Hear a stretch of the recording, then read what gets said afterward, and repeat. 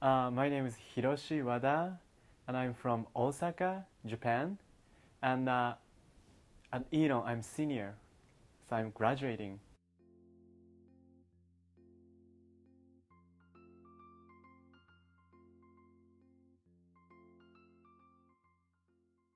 Actually, I didn't choose Elon. I wanted to go to North, and my first option was uh, State University of New York, but it was so competitive, so I couldn't get the first option. And Elon has really nice business programs, so they, like my advisor, recommended Elon has a good program too. So, okay, let's go to Elon. That was how I came here.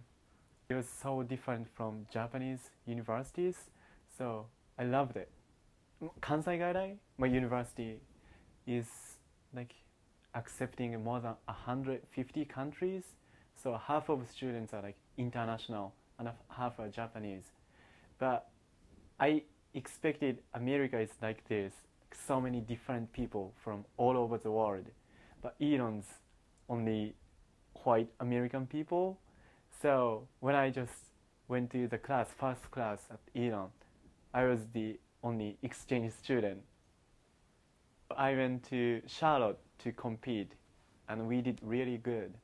So it was good for me to learn something Western dances, because in Asia you just don't do it, and we have some traditional dances so it was really nice to see some new dances, new cultures through this activity.